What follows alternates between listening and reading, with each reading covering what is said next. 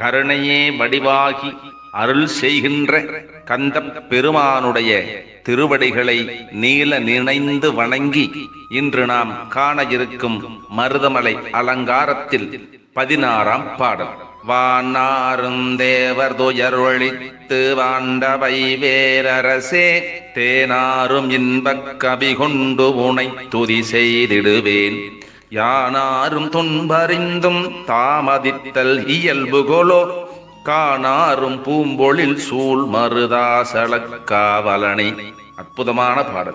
பூத்து குழுகுகின்ற நறுமணமிக்க பூக்கள் நிறைந்தது சோலைவனமாய் சோலைகளால் சூழப்பட்டு இருப்பது மருதமலை. அந்த மருதமலைக்கு காவல் செய்கின்ற காவல்காரனாய் வீற்றிருக்கக்கூடியவன் முருகப் பெருமான். தேவர்கள் உலகத்தில் இருக்கின்ற தேவர்களெல்லாம் அவருடைய துன்பத்தை போக்கிக் கொள்ளும் பொருட்டு அவர்களெல்லாம் ஆட்கொண்டு தேவ சேனாதிபதி என்று விளங்கிய முருகப்பெருமான் கூறிய வேலினை கையில் வைத்திருக்கின்றார். அப்படி ஏந்திருக்கக்கூடியவர் அரசர் போன்று இருக்கின்றார். அந்த முருகப்பெருமான் மீது தேன் போன்ற பல கவிகளை பாடியும் தோத்திரம் செய்தும் அடியேன் படுகின்ற துன்பத்தை கண்டும் காணாமல் இருப்பது போன்று ஏன் தாமதம் செய்து கொள்கின்றாய் முருகா? உனக்கு இது இயல்பா என்று கேட்கின்றார் நம் சுவாமிகள். தவத்திரு கந்தசுவாமி சுவாமிகள் கௌமார மடாலயத்திற்கு வந்த பிறகு முறையாக எந்த ஆசிரியரிடமும் கல்வி பயின்றதற்கு ஆதாரமில்லை என்று சொல்லப்படுகின்றது.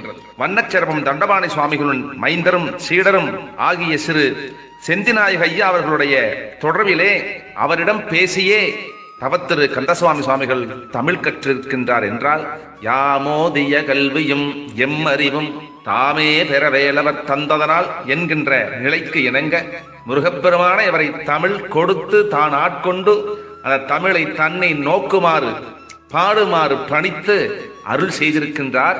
அவ்வப்போது அருள் மெதுவாக செய்வது போல் சில பாசாங்குகளும் முருகப்பெருமான் காட்டியிருக்கின்றார். அதனால்தான் ஒரு நொடியில் உலகை வரும் சித்திர கலாவ மயிலே என்பார் அருணகிரிநாத சுவாமிகள். முருகப்பெருமான் சஞ்சரிக்கின்ற மயிலானது ஒரே நொடியிலே உலகத்தை வலம் வந்து விடுமாம். அப்படி ஒரு நொடியிலே உலகத்தை வலம் வருகின்ற மயிலை வாகனமாக உடைய முருகப்பெருமான் தாமதமாய் அருள் செய்தால் சுவாமிகள் பொறுத்துக் கொள்வார்களா? அதனால் தான் கேட்கின்றார் தாமரித்தல் இயல்புகளோ?